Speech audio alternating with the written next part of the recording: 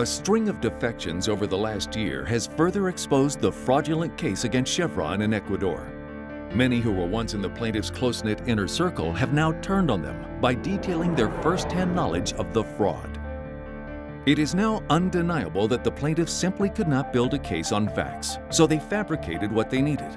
As the plaintiff's lead American lawyer Steven Donziger was caught saying in outtakes from the movie Crude. Facts do not exist. Facts are created. That's Ann Maest of Stratus Consulting, who the plaintiffs described as a national authority on environmental chemistry. She and Stratus Executive Vice President Doug Beltman admitted that Stratus actually wrote much of the so-called Ecuadorian Independent Report that was supposed to provide a scientific basis for the judgment against Chevron.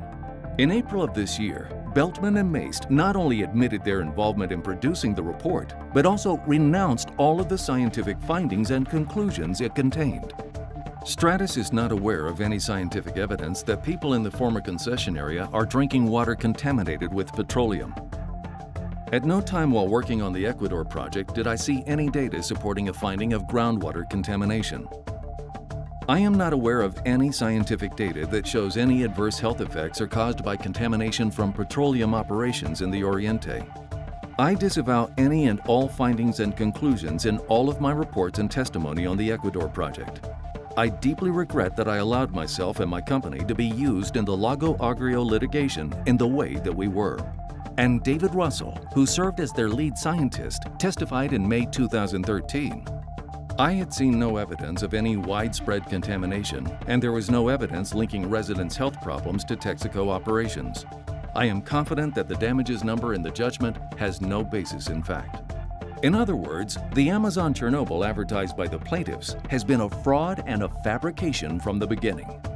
For-profit lawsuit investors have also deserted the plaintiffs and their law firm Patton Boggs, claiming the conduct discovered amounts to fraud.